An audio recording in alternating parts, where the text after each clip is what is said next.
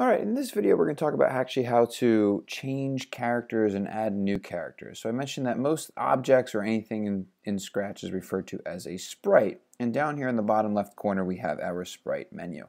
Now by default whenever you start a new program you're going to get the cat and it's going to be called sprite 1. Now if I click on any of these new sprite buttons, the first one being the Scratch library, the second allowing me to hand draw one, the third allowing me to upload one from an image, and then the fourth allowing me to take one with my webcam, it will actually add a new character. Now the Scratch library is actually quite extensive. So you can scroll through and there's also categories on the side here if I was looking for animals, so I was looking for people. And all of these characters have no background, meaning that you can kind of stack them on top of one another without having like a white box around the character. And many of them actually have what's called costumes, which I'll get to in a later video. Now, if let's say, for example, I wanted to add a dog to kind of torment my cat here, I could go ahead and I can grab now a second character.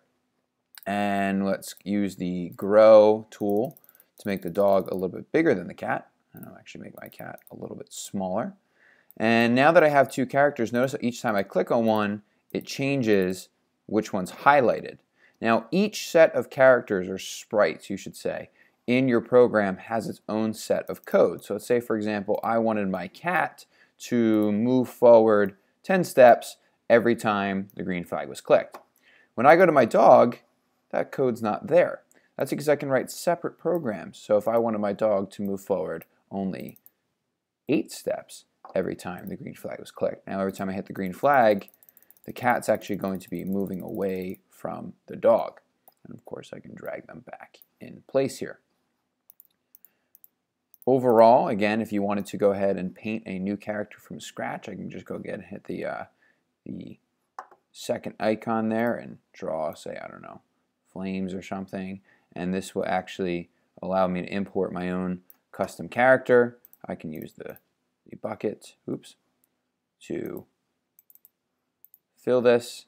And now I have this custom character that I just hand drew.